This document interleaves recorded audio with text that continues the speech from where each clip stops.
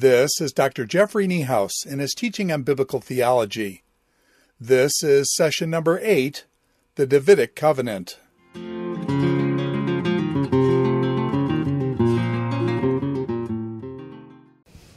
Now, as we recall when we talked about the Abrahamic covenant, uh, that covenant embodied in itself entailed uh, the um, foreshadowing, shall we say, of uh, three different covenants. That is to say, the whole special grace program. The Mosaic covenant, uh, the Davidic covenant implied in kingship in Genesis 17 when the Lord said that kings would come forth from Abram and Sarah and the new covenant uh, implied uh, by both the embodiment of the or the inclusion of the Genesis 12 promise that uh, in Abram's seed all the families of the earth would be blessed, repeated in Genesis 22, and by the Lord's passage between the pieces in Genesis 15, symbolically uh, foreshadowing the cross, where the Lord would take on himself the punishment for the seed of Abraham. Um, and so, specifically, then, the Davidic covenant uh, anticipated in the Abrahamic. And important to uh, understand that the Davidic covenant, uh, as we said, um, David also is a covenant mediator prophet, but a mediator of a very unusual covenant in that it's focused on the royal line. That's all it has to do with. Um, David himself was still under the Mosaic covenant.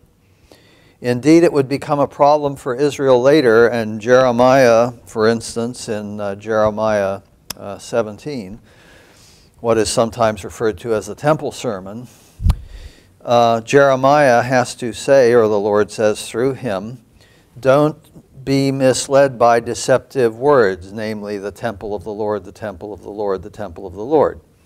Because when the Lord made that covenant with David, he promised that David's offspring would build a temple, which Solomon did. But the people misunderstood this to think that, well, now we've got the temple, we're all set. The Lord's never going to leave his house, uh, and so Jerusalem can never be conquered. And indeed, when Sennacherib invaded Judah and conquered everything but Jerusalem, it looked as though that was going to be the way of it. So Jeremiah has to tell them in that chapter you can't go on committing all these sins and then come and think you're forgiven and then go out and do them again just because you got the temple. What they didn't understand was that the Mosaic covenant trumped the, the Davidic covenant, shall we say. It was the governing covenant, and the kings themselves had to be obedient to it. Uh, so, but the, nonetheless, so David did mediate a covenant, but it was a narrowly focused covenant on the royal line. Well, it's anticipated, as we said, by the promise of kings in Genesis 17. We know that David was a prophet, just not to think even yet of being a covenant mediator prophet, but we know he was a prophet uh, because in uh, we have here in uh, the what happens with Samuel anointing him, he takes the oil of the horn of oil and anoints him in the presence of his brothers, and from that day on, the Spirit of the Lord came upon David in power and the Lord spoke through David. Um, incidentally, it's an interesting statement here. From that day on, the Spirit of the Lord came upon David, came to David, uh, is the Hebrew, actually. But uh, the point is this sometimes people will think, well, before Pentecost, maybe there were some people under the Old Covenant who actually had the Holy Spirit, as we do. And I suppose if you wanted to point to someone you thought might be a good candidate for that, David would certainly be the one. Uh, but we're told here that the Spirit would come to him. And so you're never told that the Spirit dwelt in him. And you're never told that the Spirit dwelt in anyone uh, under the Old Covenant. No one's called a temple under the Old Covenant for that reason. Um, and so, but it's a great, it's a great thing to have the Holy Spirit come to you every day. That's not a bad thing at all. He's with you. Uh, he guides you, he gives you wisdom, and so on. The Spirit did speak through David. Great example of that is what's sometimes called the last words of David. After, after all, what we read in the scripture here, these are the last words of David. The oracle of David, son of Jesse, the oracle of the man exalted by the Most High, man anointed by the God of Jacob, Israel's singer of songs. He says, The Spirit of the Lord spoke through me, his word was on my tongue. So David was certainly a prophet. Uh, and indeed, the Spirit speaking through him, being the same as his, the Lord's word being on David's tongue, points to a New Testament reality that Jesus makes very clear. Jesus says, The words I speak to you are spirit. So the words a prophet speaks or writes are actually the Holy Spirit taking the form of words, giving us words. While the New Testament calls David a prophet, Peter here at Pentecost um, explaining uh, what's going on, he says, I can tell you confidently that the patriarch David died and was buried, and his tomb is here this day.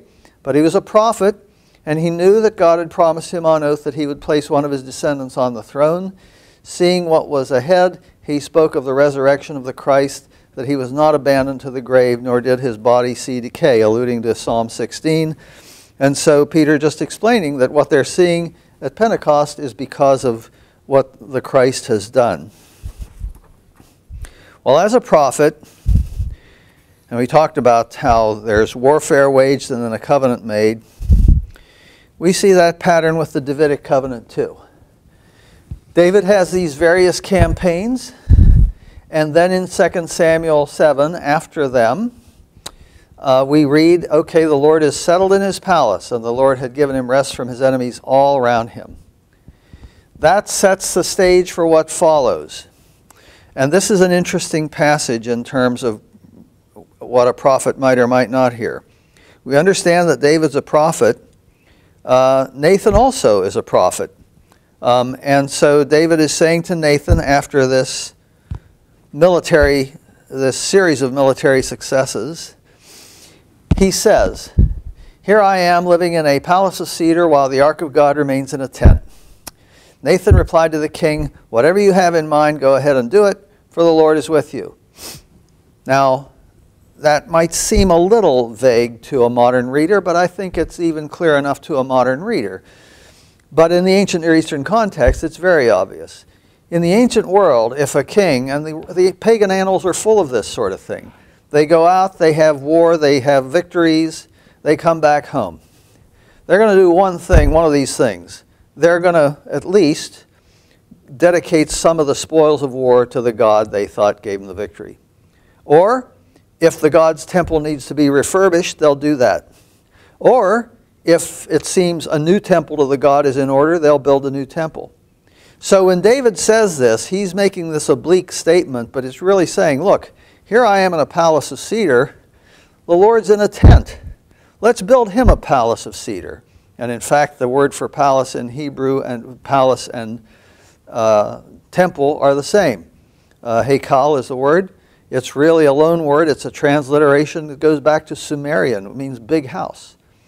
And that's why it can be a palace or a temple, because the king has a big house, a palace. The Lord has a big, he's a God, he has a big house, a temple. Another word that's used for both is simply the word for house. And that's the word that occurs in this passage. So David is saying a house. Um, and so Nathan, Nathan, this, this is what I love about it because Nathan's a prophet. And so what is his answer to David? David, Nathan at this point answers out of what he understands from the world that he lives in. The king, the God has given our king a victory. Of course, we build a temple for the God. So he is speaking out of his cultural expectations. So he says, sure, go ahead and do it, whatever you got in mind. But then what? Well, the Lord speaks to Nathan that night and says, No, no, that's not what's going to happen. That's not what I have in mind at all. Go and tell my servant David, This is what the Lord says Are you the one to build me a house to dwell in? I've not dwelt in a house from the day I brought the Israelites up out of Egypt to this day. I've been moving from place to place with a tent as my dwelling.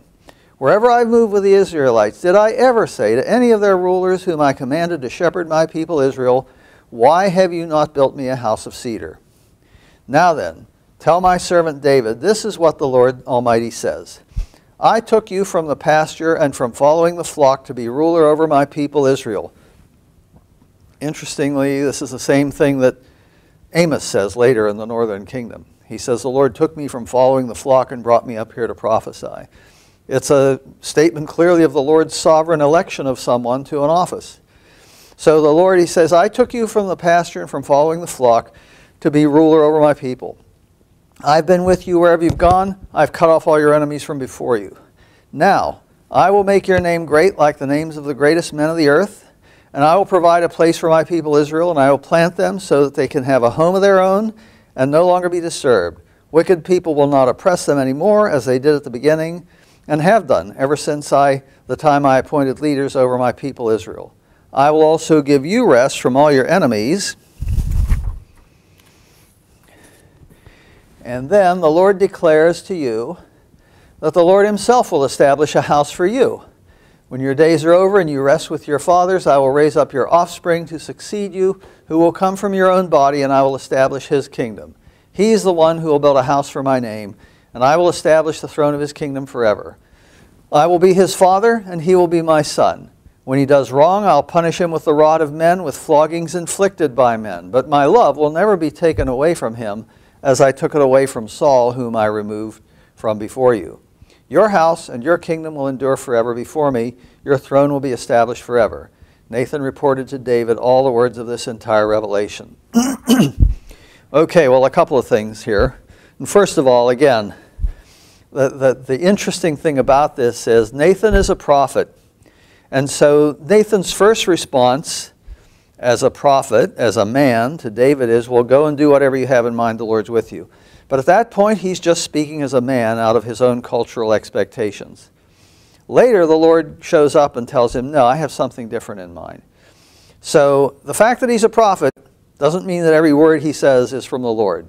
He just expressed his thoughts as a man. The Lord had something different in mind. And what the different thing is that the Lord is going to build David's house. And so there's a play on the word house here because David wants to build the Lord's house, meaning temple. The Lord says, I'm going to establish your house, your household, your dynasty. Um, and uh, however, your offspring will build a house for my name, the name meaning the essential nature, the essential character, the being of the God, uh, of the Lord in this case. And that's, that was the understanding. So incidentally, when you read in John uh, 14, 26, until now, John 16, 24, excuse me, until now you've not asked for anything in my name, ask and you'll receive and your joy will be complete. Well, what's the meaning of that? It's, uh, I think we understand, it's not, well, uh, may uh, a Maserati, a Maserati with the, the title and the keys show up in my driveway tomorrow morning in Jesus' name. It's not some kind of magic formula. It's if we're asking according to his nature, then he's going to do it. And our joy will be complete because we're on the same page with him. We get the joy of being asking for what he wants to do. We get to be part of that. But anyway, the Lord is going to have this house built, but it'll be uh, David's offspring, who we know is Solomon, who's going to do it. I will be his father, he'll be my son. We understand that's an adoptive sonship. The Lord is not saying that David, your son, is going to be, your offspring is going to be uh, born from above, a supernatural birth. Um, and he does promise that, you know, even if he sins, my love, uh, and the Hebrew word there is chesed, which I would rather translate as grace, but will never be taken away from him as I took it away from Saul. That's a pretty heavy statement because that word that's translated love is really part of a covenant word pair in Hebrew, love and truth or grace and truth, as I would translate it. And that shows up in John 1 too. The law came through Moses. In Jesus, we have grace and truth. I'd say in Jesus, we have the, the guts of the covenant, what it's really all about, the covenant relationship. And so, uh, so that, that's a pretty heavy statement about Saul. But uh, the Lord is saying he may sin, but I'm not going to take that away from him. And then there's this promise your house and kingdom will endure forever and your throne will be established forever. That's where Israel went wrong because they thought, well, that's it. We're guaranteed. You know, doesn't the Lord has painted himself into a corner here. It doesn't matter how badly we sin, the, Jerusalem will never fall. Zion will never fall. And of course, the thing is that this has a supernatural, a super terrestrial reality because the son of David, namely Jesus, always was king over Israel and always is and that throne does endure forever, uh, and his kingdom endures forever, but that's not the earthly throne or kingdom that people naturally probably had in mind when they heard this. Well, that, although the word covenant doesn't appear here, this is understood to be the making of the uh, Davidic covenant. Psalm 2 later reflects this, um, and I've tried to outline the corresponding parts here. So both of these, you know, in 2 Samuel 7, you have security from the foes that is talked about, uh, and uh, the Lord establishes his throne. The Lord is going to be like the Father. The King is going to be like his Son. It's an adoptive sonship. Uh, and there's the chastening. You know, I will punish him with the rod of men, but I will not take my grace away from him. Psalm 2, some people think, and I think this is a likely thing, that Psalm 2 had to do with the occasion of Solomon's accession to the throne. And so these things come into play. And so when in verse 7 we hear or we read, You are my son, this day I have begotten you, um, the understanding is, well, this is an adoptive sonship, uh, and that's fine. But later, this is picked up in the New Testament in Hebrews 1 as part of the discussion that. Um, uh, the Son is superior to angels. To which of the angels did he ever say, You are my Son, this day I've begotten you? And of course, in the case of Jesus, that's a genuine, real begetting, uh, the virgin birth, as we know. The chastening is mentioned here. It's not mentioned in Psalm 2. I think probably the reason for that, if we understand that as a poem about Solomon's coming to the throne, is that Solomon's accession to the throne would be a festive occasion. And you're probably not going to say, oh, and by the way, if you flub up, this is what's going to happen, right? So that's probably why that, that kind of note is not sounded there. But anyway, there you have it. This, of course, is what Gunkel would have called a royal, uh, did call a royal psalm, having to do with a contemporary king in Israel. And that's fine as far as it goes. What he wouldn't acknowledge is that the use of it later in the New Testament was actually because it did foreshadow the Christ, um, which is something we understand was the case. Well, it wouldn't do any harm to think a little bit about the covenant and the covenant idiom here, covenant cutting idiom, because as we said, the term covenant doesn't even show up in this passage, although it's universally recognized as enshrining the Davidic covenant. And incidentally, one thing that's true about 2 Samuel 7 as is true about all the other reports of the divine human covenant making in the Old Testament, they are narratives that contain the components of a covenant or a treaty, whereby we understand that a covenant is being made. Uh, like Genesis 1, you have a covenant being made in 2 Samuel 7, and the term covenant doesn't show up. Unlike Genesis 1, you do later have reference to a covenant making with regard to David. Um, and so, just some examples here Second Chronicles 7. I will establish your royal throne as I literally cut with or cut for David, your father, when I said, You shall never have to fail to have a man rule over Israel. Um, and uh, let's drop down to a few others here. David, because using the idiom, cut for Second Chronicles 21. Nevertheless, because of the covenant the Lord had made with or cut for David. So here you have the term covenant and cut. Uh, the, the Lord was not willing to destroy the house of David. He had promised to maintain a lamp for him uh, and his descendants forever. And I'll talk about that note, not lamp, but yoke, in just a moment.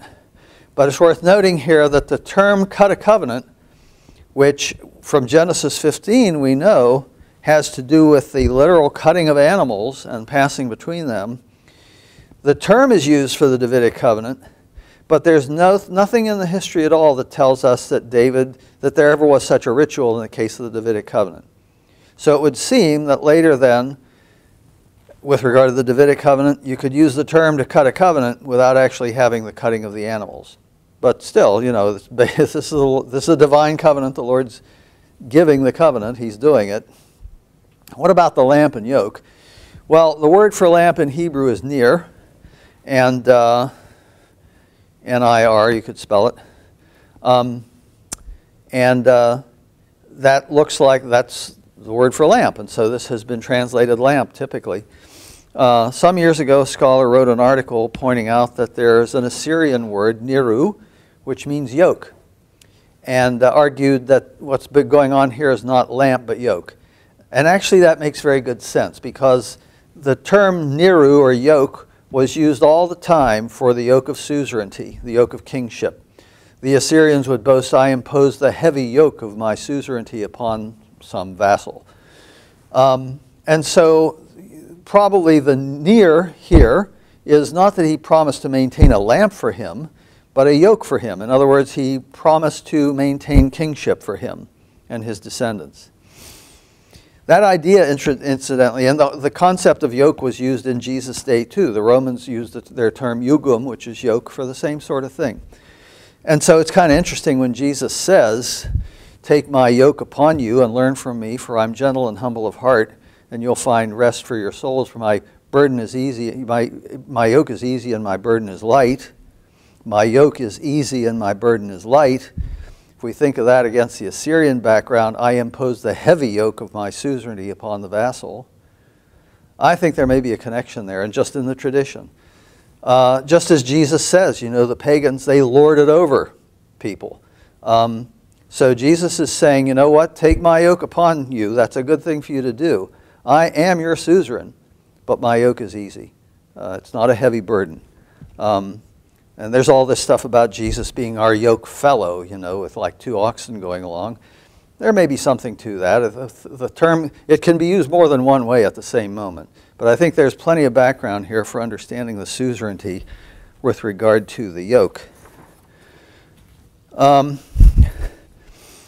other examples here, um, and so I don't need to read through all of them. You have them here.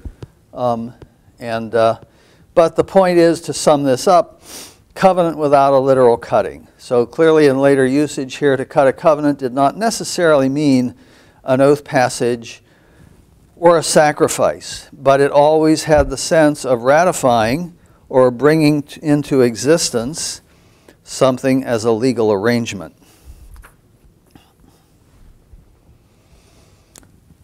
And uh, we recall that the Noahic covenant is another one that was identified as such without a cutting ceremony. Okay, so the part of the deal with the Davidic covenant is there's going to be this house for the Lord's name, there's going to be this temple presence. It's going to be by David's offspring. Uh, that's what's promised in the covenant and in the covenant narrative. And that's what we see fulfilled in 1 Kings when Solomon builds the temple. so, when if we relate this at this point to the major paradigm, uh, we can do that. There'll be some vari- some variations, as we'll note.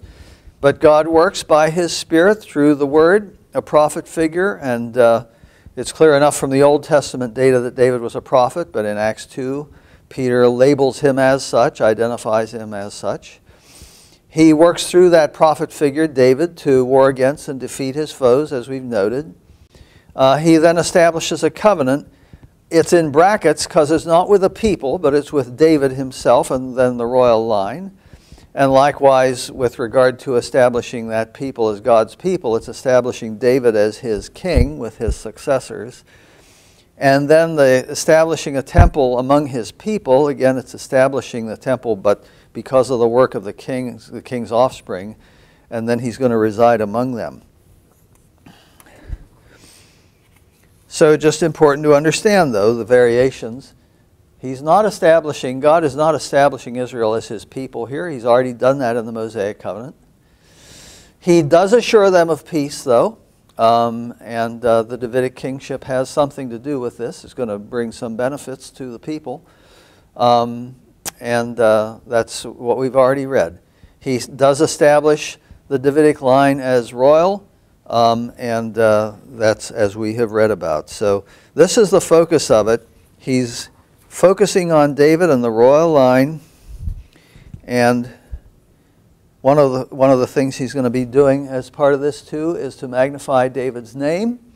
Uh, we note, ironically, Genesis 11, where the builders of the Tower of Babel said, Let's build ourselves a city so that we may make a name for ourselves and not be scattered over the face of the earth. Well, make a name for yourself, what does that mean? That means you're pretty significant and people would probably not come and take you on. Uh, and so you wouldn't be defeated and scattered.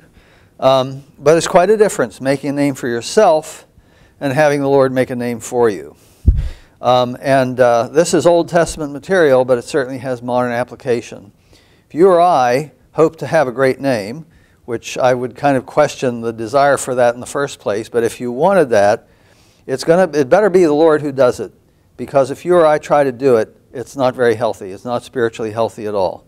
Uh, it's in the direction of wanting to be like God. I want to make a name for myself. No, let the Lord make your name, whatever He wants it to be. If you're a pastor of a megachurch, if you're a pastor of a 50 member church in Vermont or something, whatever it may be, um, let the Lord be doing it.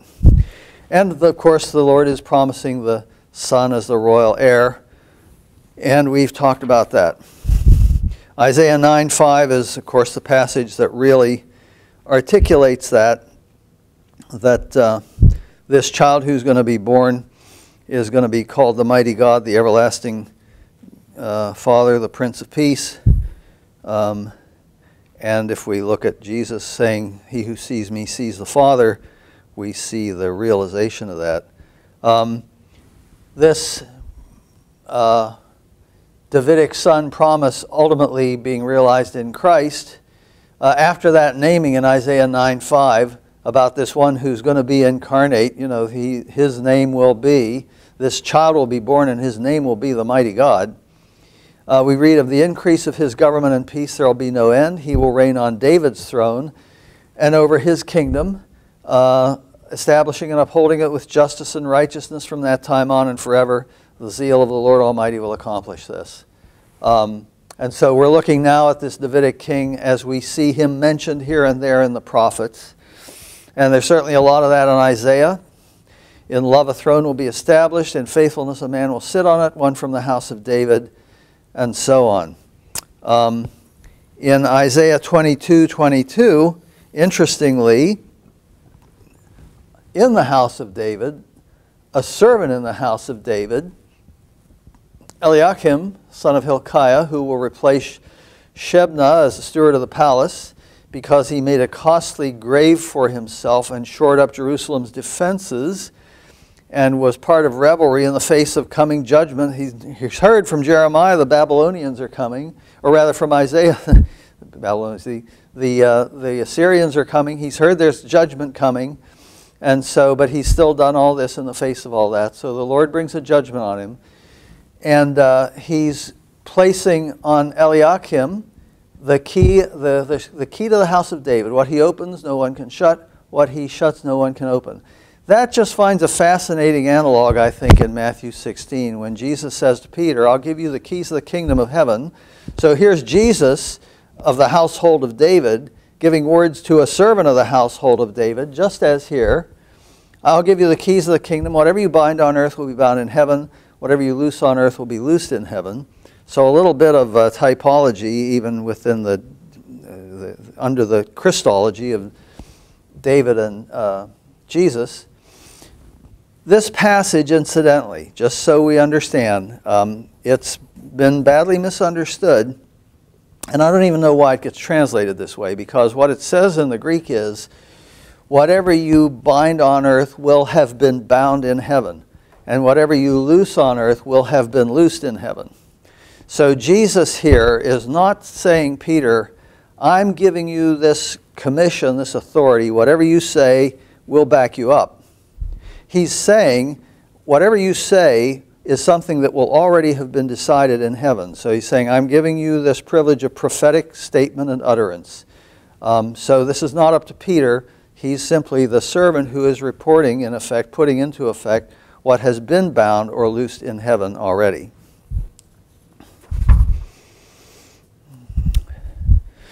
Well, Isaiah 55, a very famous passage, too. Give ear and come to me, hear me, so that your soul may live. I will make an everlasting covenant with you, my faithful love promised to David. See, I've made him a witness to the peoples, a leader and commander of the peoples. Um, I think this looks forward to uh, what we read later about Jesus in Revelation 1 5. He is the faithful witness, um, and certainly he is the leader and commander of the peoples. Um, this is reflecting on the, the the Davidic covenant, but it's speaking to uh, somebody who is coming after, right? the faithful love promised to David, the chesed, the grace promised to David, is going to come. Uh, and you, you read here, I will make an everlasting covenant with you. And it's going to be through this one who's going to be a witness, who's of the household of David. So this is a prophecy, this is a messianic prophecy. And so I would say here, we've talked about the term everlasting. Every divine human covenant that is called a covenant is called an everlasting covenant. But they don't all last forever, as I hope we remember. We've talked about this. The Noahic covenant is called an everlasting covenant, for instance. Genesis 9:16 is the first time the term is used, the phrase. But we're going to have a new heavens and earth. So there will come a day when the Noahic covenant's a dead letter, legally. Um, so it's not everlasting. But the word olam, translated everlasting, has the idea of it's so far in the past or so far in the future, it's out of sight. However, the covenant being implied here talked about the new covenant is going to be an everlasting covenant. Hebrews 13, the blood of the everlasting covenant, that is an everlasting covenant because it never ends. The new covenant through, whom we, through which we have a new humanity, namely us, and a new heavens and earth, that is forever. That's, that's it. That's the last special grace covenant, and it is everlasting. And we can be glad it is. So that's, but that's the Davidic theme here connected with that in Isaiah 55. Jeremiah 23, um, prophesying um, this messianic figure too. Um, I will raise up to David, or for David, a righteous branch, a king who will reign wisely. Um, and uh, Jeremiah 30, they will serve the Lord their God, and David their king, whom I will raise up for them. That is also characterized as a sprout from David's line. And so, and then David will never have, fail to have a man sit on the throne um, of the house of Israel. So how can, how can this one who is coming be called the branch, the sprout of David, the descendant of David, but also David? And we'll come to this because this issue shows up in Ezekiel also. Um, but the point is this that the term David, the Hebrew term, the name David, is a passive form. And it comes from a root that means to love. And so the passive of the concept of love is beloved. And so when you, we read these things about, I'm to, they're going to, David will be their shepherd, I'm going to raise up David for them. We're not talking about a resurrected David who's going to rule Israel. We're talking about the beloved who is going to be the, the branch, the sprout of David, and so on. So we'll come back to that, but that's what's going on there.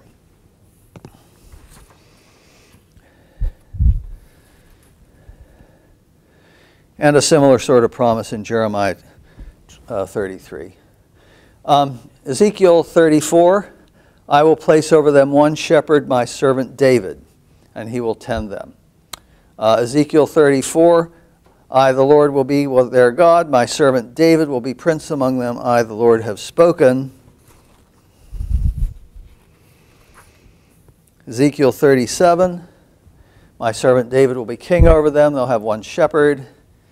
Um, and Ezekiel 37, David, my servant, will be their prince forever. so the classic way of looking at these kind of statements has been, well, this is uh, kind of uh, Christological or symbolic, messianic type, and that's true enough. But uh, as we've said, um, the real issue here is that the term David, Dawid, means the beloved. And so when you read these passages, the Lord is really saying a beloved one is going to be their prince. He's going to rule over them. And we learn later, of course, that that is Jesus. Um, there are certain geolo- geological, genealogical notices or claims that are made here with regard to Jesus. Um, and uh, Matthew 1 starts out with this the genealogy, a record of the genealogy of Jesus Christ, the son of David, the son of Abraham. Uh, Luke's uh, uh, introduction to, he will be great and be called Son of the Most High. The Lord God will give him the throne of his father David.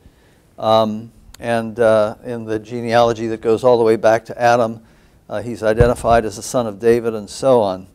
Um, and uh, just, just a mention here of Matthew's genealogy. Um, there's a Hebrew sort of technique of using numbers, uh, and when you do, uh, you find out that the genealogy, the three sets of 14 generations in Hebrew lettering, uh, can be characterized by the consonants that form the name David. And so the, the idea of David actually underlies the structure of the genealogy. Uh, it's called gematria, and uh, you, that's something you can look. You find that online, I think, fairly easily. Um, I've written about it in uh, my own third volume, but uh, it's not an idea new to me. But uh, it's just kind of fascinating that this the David theme is very important. David is mentioned many, many more times in the Bible than even Moses, uh, which is interesting, and we'll look at a bit later. Um, so, but anyway, the identification of um, this Davidic covenant and the importance of David here. Acts 13, Paul, in his address to the synagogue at Pisidian Antioch, tries to make the point that, listen, this is the one we've been waiting for. Paul identifies himself as one who's an apostle of the gospel, promised through his prophets regarding his son, who, as to his human nature, was a descendant of David. Well, this Davidic king was certainly expected hoped for, um, and we see this in popular recognition too. Um, and again, we'll just kind of blitz through these because you'll have them in the notes. But uh, Jesus goes on here. Uh, he's, he has people, uh, two blind men following him, calling out, Have mercy on us, son of David. Uh, people are astonished at his miracles and say, Could this be the son of David? Um, The uh, Canaanite woman who hopes for deliverance for her daughter says, Lord, son of David, have mercy on me. The blind men at Jericho here, uh, Lord, son of David, have mercy on us. Uh, when Jesus is entering Jerusalem, Hosanna to the son of David. Blessed is he who comes in the name of the Lord. Of course, this offends the priests and teachers of the law. Uh, blind Bartimaeus, Jesus, son of David, have mercy on me, um, and so on. Jesus himself makes the argument What do you think about the Christ? Whose son is he? The son of David, they replied. Well, if David calls him Lord, then how can he be his son? Uh, Jesus here is taking advantage of the fact that Psalm 110 was understood to be a messianic psalm. But we know how that starts out. The Lord said to my Lord, Sit at my right hand, and I'll make your enemies a footstool for your feet. Jesus is saying, Well, wait a minute. Uh, if David is calling this messianic figure, this son of David, Lord already, how can he be David's son? Uh, so, implying the mystery of the incarnation and what happened. Um, and so, they, of course, Jesus was fully aware of this. Um, if we consider the issue of typology, you remember when we talked about Noah, we talked about typology. And we said the typology, as scholars use the idea, is a matter of office, not necessarily of character. So, uh, Ahab, even, as a king in Israel, who was not a very good character at all, still technically could be called a type of Christ because he was a king uh, in Israel. Um, and uh, that, so Noah, then, as a covenant mediator prophet, who's actually worked for the redemption of people too, uh, certainly could be called a type of Christ. He also happened to have qualities that were true later of Jesus. He was righteous, you know, he was uh, um, uh, faithful to God, and so on. Um, but David is a type of Christ by his offices. He is a king, he is a prophet, he was a shepherd. Um, just as an aside here, sort of, but uh, the idea of a, of a king as a shepherd is a very ancient one, the ancient world. Um, the Pharaoh, if, if you read Egyptian inscriptions, pharaohs are not very often called shepherds. But if you look at the iconography, the pharaohs had a shepherd's crook. Um, the, in Mesopotamia, it was a very common uh, figure of speech. The king is a shepherd. Um, and so the idea that a ruler would be a shepherd is uh, is a standard thing. Why? Well, because consider the mass of people out there, they're the flock, they need a shepherd. Uh, Moses, interestingly, was a shepherd before he was a ruler, a leader. Uh, David was a shepherd before he was a leader. And Jesus refers to himself as the Good Shepherd in John 10. So that figure runs through the Bible. Uh, of course, with Psalm 23, the Lord is my shepherd. We've talked a bit about this. The name David means the beloved. And so when Jesus comes out of the baptismal waters, and a voice from the heavens says, This is my Son, the beloved, in whom I'm well pleased. If you translated that into Hebrew, you could say, This is my Son, the David, because that's exactly what the name means. And so Jesus really is all that the name David could be or imply. And there you have the actual incarnation, the realization of the promise, uh, the promises that you get in Jeremiah and Ezekiel, especially about the, this David who's going to rule over them. We talked about the theme of witness. I just want to come back to that and tie it to something else here. Isaiah 55, we may recall, said, I'm gonna, I've, making, I've made him a witness to the peoples, a leader and commander of the peoples. And incidentally, I have made him. Okay? Well, how can you be using this? How can you say, I have made him when it's going to be centuries yet before he's born?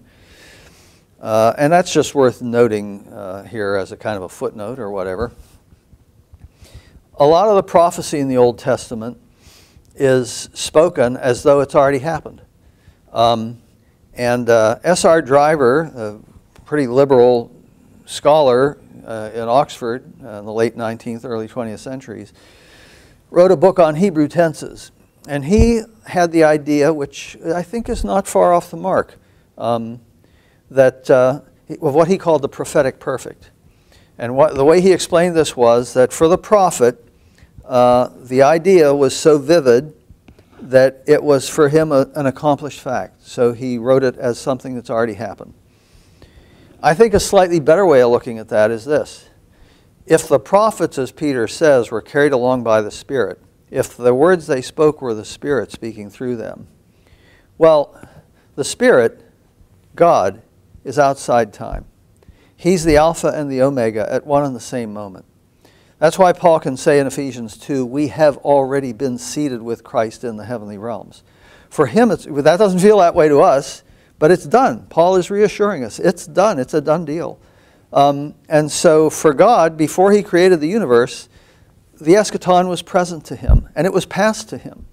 So for God, all being outside time, and of course we live in a space-time continuum, right? Nothing can exist without time as part of the package, the context in which it exists.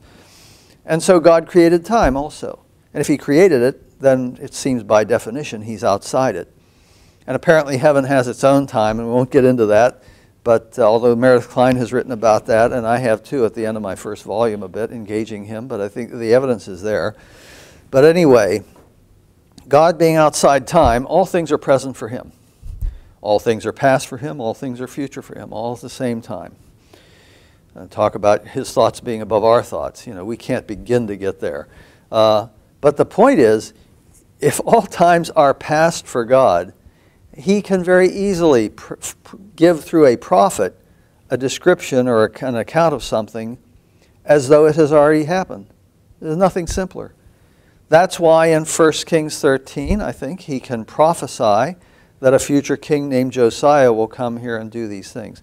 That's why in Isaiah 44 and 45, he can, through Isaiah, prophesy Cyrus, who's not even born yet. So uh, that's not a hard concept, but one does have to acknowledge and agree that prophecy happens, that it's possible, that it is what it is, it comes from God. And if one accepts that, then you know everything else follows. But so anyway, I have made him a witness to the peoples. In Psalm 89, we also read, I will appoint him my firstborn, the most exalted of the kings of the earth. This is the Davidic king who is coming. So these themes of Davidic witness and Davidic king, or Davidic, the David is firstborn, converge in the New Testament. Jesus Christ, who's the faithful witness, the firstborn from the dead, but also this same faithful witness is the firstborn over all creation. And it's important to understand this concept of the firstborn. Um, because the Arians, you know, had this idea that, well, look, if he's the firstborn over all creation, then he's really special because he was the firstborn, but that must mean there was a time when he was not. Um, it's misunderstanding the concept because in Psalm 89 we read, I will appoint him my firstborn. In other words, the firstborn here is being used as an, an appointive status, a technical, a legal concept. The firstborn is the heir. And the Lord is saying, This king who's coming, this David, I'm going to appoint him the firstborn. In other words, he's going to be the heir of all things, which is what he is. And of course, in him we too inherit.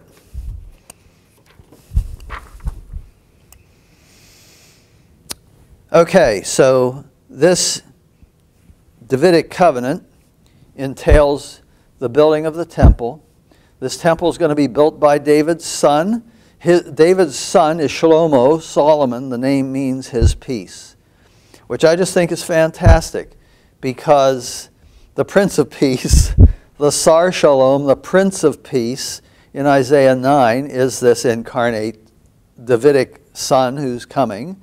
And Jesus makes the promise, peace I live with I leave with you that's not what the world can give you. I leave it with you. And incidentally, uh, since we're talking about peace at the moment, it's not a bad thing to reflect on the meaning of that word because I don't think the Greek really captures it. But if we understand that behind this Greek term, eirene, is shalom, peace, the root idea of shalom is wholeness, soundness. And that's what Jesus is saying. He's not saying, I'm going to leave tranquility with you. Because he's already said, You're blessed when people persecute you and lie about you because of me, because that's what they did to the prophets. He's, saying that by the Spirit who dwells in you, I'm going to make you more whole, more sound. You're going to have shalom, soundness. Um, and that whatever else happens the, from the outside, whatever comes your way, and that's a much that's much much better, uh, and that's what the promise is, and he's the prince of that. So this Davidic son, He's going to be king, he's going to be prophet, he's going to be temple builder, and that, of course, is that becomes us, the church. And there's a, a history of temple related theophany that uh, is consistent with this. In the tabernacle, Moses completes the tabernacle. And then what happens? The glory cloud, the theophanic cloud, covers the tent of meeting, the tabernacle. The glory of the Lord filled the tabernacle. Moses could not enter the tent of meeting because the cloud had settled upon it, and the glory of the Lord filled the tabernacle. Later, when Solomon finishes constructing the temple, the son of David who builds that temple, while the priests withdrew, the cloud filled the temple. The priests could not perform their service because of the cloud, for the glory of the Lord filled his temple, just as the glory of the Lord had filled the tabernacle. Uh, and later, the Lord characterizes this in this way I have consecrated this temple, I've set it aside, I've declared it holy by putting my name there forever. So that's another thing. That temple that Solomon builds is becomes holy. And it becomes holy not because people devote it to the Lord, but because the Lord consecrates it. He, his presence makes it holy. If we think back to Exodus 3, when the Lord showed up there and he told Moses to take off your sandals because this is holy ground, I think I can guarantee you, once that was all over and the Lord had left, the ground was just ground again. It was just dirt. There's nothing holy about it. You could have walked all over it with or without sandals, it wouldn't have mattered. So it's the presence of the Lord that makes the thing holy, and people have understood this for quite a while. Um, and so that's what makes us holy too. And we too become temples, and we see the New Testament counterpart to this uh, Old Testament tabernacle in this investiture uh, by the Lord. When the day of Pentecost came, they were all together in one place. Suddenly, a sound like the blowing of a violent wind came from heaven and filled the whole house where they were sitting. They saw what seemed to be tongues of fire that separated and came to rest on each of them all of them were filled with the Holy Spirit and began to speak in other tongues as the Spirit enabled them. So this is the, as scholars often recognize, this is a storm theophany, and uh, this is the Lord coming into the new temple, which He is now creating to be such, now making temples. That is all the people, the temple of living stones, as Peter puts it, the individual temples who together make up the corporate temple. So, um, which I just think shows a wonderful consistency in the Lord. You know, when a temple is prepared and He enters it and He makes it a real temple, a real dwelling. And we talked about the meaning of the word temple, meaning a big house or just basically a dwelling. That's how we can be called temples, because a temple doesn't have to mean a building made of stone or whatever, or even a tabernacle or a tent. Uh, it can be, it's wherever the Lord dwells uh, in a certain way, really present, and that's what He is in us. So, this Davidic son we're talking about here, he is the beloved, he is the David. He brings his peace, and the name of Solomon foreshadows that or prefigures it. And he does build the temple. And so, of course, Solomon does that, but then the son of David, the greater son, the David, the beloved, builds the church. So a lot comes out of this Davidic covenant, these promises that we read in 2 Samuel 7. And uh, the New Testament, of course, certainly pulls this together for us. Well, since David is a prophet, it might be worth considering the dynamic of prophecy and what it can entail. Um, and so I'd like to look at David as a composer or a harpist or a worshiper. And uh, I think the first place that really shows up is in 1 Samuel 16, where you remember the Lord, the Lord tells David in um, 2 Samuel 7 that this son of yours who's going to build, your offspring who's going to build the temple, if he sins, I will chastise him, but I won't remove my love or my grace from him as I did with uh, Saul. Uh, well, this is what it looks like when the grace is removed. And I think this, so what is it? It's the Holy Spirit. The Spirit of the Lord had departed from Saul. Well, but that's not the worst of it, because then an evil spirit from the Lord tormented him. And I think here, incidentally, we understand it's not that the Lord has a stable of evil spirits and he lets one go whenever he wants to do, give somebody trouble. He's letting an evil spirit come and do what it wants to do. And he's using that as a judgment on Saul in this case. Um, and so, and incidentally, later when David has committed that adultery with Bathsheba, and in Psalm 51, he prays, Take not your Holy Spirit from me. He knows what that looked like with Saul. And he doesn't want that to happen to him. And so that's a very meaningful prayer on his part. And the Lord was faithful to that. He didn't take his spirit away from David, but he took his spirit away from Saul. And so Saul's attendants say to him, Look, an evil spirit from God is tormenting you. Let our Lord command his servants here to search for someone who can play the lyre. He will play when the evil spirit from God comes on you, and you will feel better. So Saul said to his attendants, Find me someone who plays well and bring him to me. And one of them says, I've seen a son of Jesse of Bethlehem who knows how to play the lyre. He's a brave man and a warrior. He speaks well. He's a fine looking man, and the Lord is with him. So Saul sends messengers to Jesse and says, Send me your son David who is with the sheep.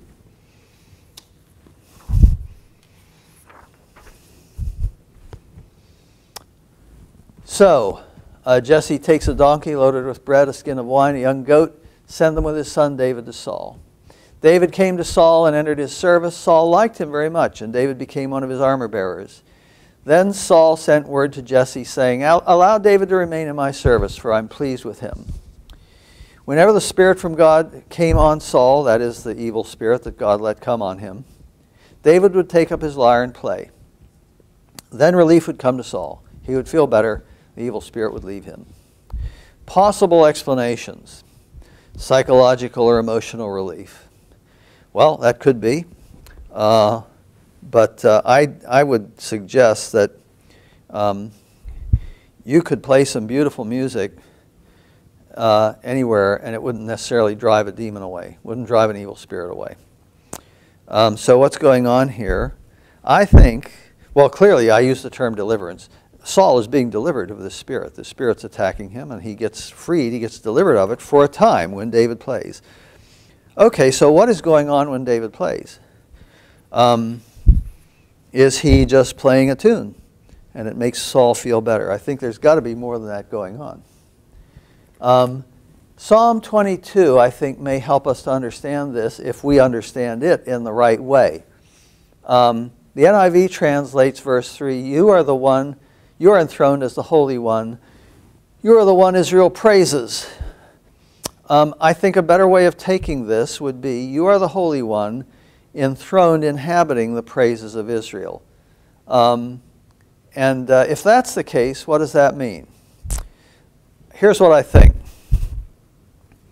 When real worship of the Lord is going on, the Lord responds, He honors that. He will presence Himself. And that means then that His Holy Spirit is more present there and people are blessed. Some people can claim a palpable experience of this. Others don't feel anything, but I think it's going on at any time. And I think that's what this psalm means. The Lord inhabits the praises. When people are really praising Him, He's there welcoming it, blessing them. Um, it's not just emotional. Um, so, as I sometimes tell students, you know, I think you could have two people in two rooms. They're both singing the same hymns at the same time. One of them, they're really worshiping. They're singing, they're worshiping in spirit and in truth. The others, they're just singing the song. One of them, where the real worship is going on, the Lord is present, He's honoring it. The other one, not so much. I mean, He is omnipresent. I'm just saying He shows up in a special way. If that's the case here with David, that would mean, well, the Holy Spirit shows up. The evil spirit is not too comfortable with that. And so he departs for a while.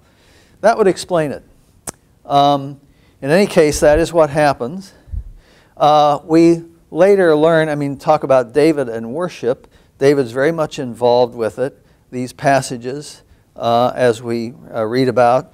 Um, and the prophetic dimension is there. David certainly had a lot to do with the worship then later as king of Israel. Um, he arranged for the uh, certain Levites to be musicians and so on. The term harps, I kind of highlight it because it's involved.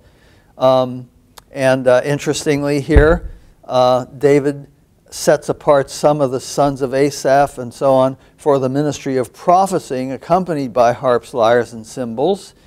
Um, and so that kind of connects the music making with prophecy. And prophecy happens, of course, because the Holy Spirit um, uh, is involved in it. Um, a passage that I think could be linked with this, we find in 2 Kings 3. Again, I'm skipping over some of these because they're just along the same lines. But um, this is the, the, case here is that Moab has rebelled against Israel, uh, was a vassal state of the northern kingdom. And, and uh, the king of Israel uh, and Jehoshaphat, who comes up from the south, the king of Judah, to help him, and the king of Edom, they come together as allies to go against Moab and try to reconquer them. Incidentally, this is very typical of what happened in the ancient world. A vassal would rebel the suzerain would set out to reconquer them and bring them back under his suzerainty. That's exactly what's going on here. Well, they lose their way, and they begin to think that, uh, that uh, you know, maybe the Lord has let them come out here to destroy them. He's going to judge them. And so uh, Jehoshaphat says, Well, is there a prophet of the Lord around that we can consult? And they find Elisha. So Elisha comes. And he says, As surely as the Lord Almighty lives, whom I serve, if I did not have respect for the presence of Jehoshaphat, king of Judah, I would not pay any attention to you, the king of Israel. But now bring me a harpist. And so while the harpist is playing, the hand of the Lord comes on Elisha. And he says, This is what the Lord. So that's interesting. What is the hand of the Lord? I think this is the term hand in Hebrew I mean, if you think of it, it's not just simply this, and it's not the whole forearm, but it's like this. So it's the business, you know, this is what you can do things with. You can wield a sword, you can make stuff. Sometimes it's used figuratively for power. Uh, and so I think that's a good understanding here. The power of the Lord came on him, but that we understand is the Spirit. That's how it's the Spirit of prophecy. It's the Holy Spirit who produces the prophecy. So the yad, the hand, the power of the Lord is the Spirit who comes on Elisha, and he then prophesies. This is what the Lord says I will fill this valley with pools of water. You will neither see wind nor rain, yet this valley will be filled with water, and you, your cattle, and your other animals will drink. And uh, this is an easy thing in the eyes of the Lord. He'll also deliver Moab into your hands, and so on. And all this comes to pass. So, what do we make of all this? Well, what do we make of this in particular? Because the instrument and the playing that goes on is the same term in Hebrew that you get uh, when David is playing before Saul. And in this case, clearly, the playing, why does Elisha ask for that? I think, for one thing, if the playing is, again, it's not just music, it's going to be worship. And the Lord responds to it and comes to him and gives him a prophecy. Now, the Lord doesn't have to have that happen to give a prophecy, right? The Lord can prophesy without having music going on, but he chooses to do it in this case. But here we have an association of the playing, the worshiping, if you will, and the Holy Spirit coming. I think that's probably what was going on when David delivered Saul as well. So, what conclusions or inferences can we draw here? Music could be an accompaniment of prophecy and worship. Uh, and uh, it, there, this seems to suggest that worship may invite the Spirit for a work of prophecy sometimes.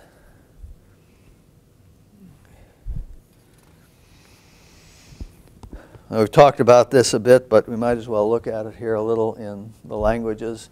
Psalm 22.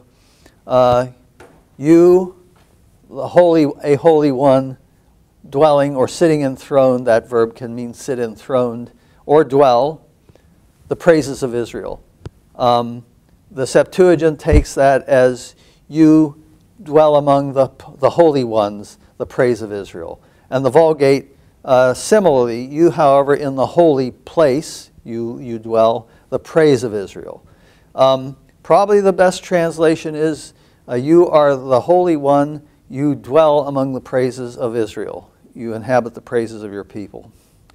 So the tentative conclusions here not all prophecy occurs in the context of worship, but a worship context may invoke the spirit of prophecy that could be as relevant for the church today as it seems to have been for David when he delivered Saul. So, the Davidic covenant anticipating the new, as we've said, and that's the covenant, the final, and the one remaining functioning special grace covenant to which we will next turn our attention.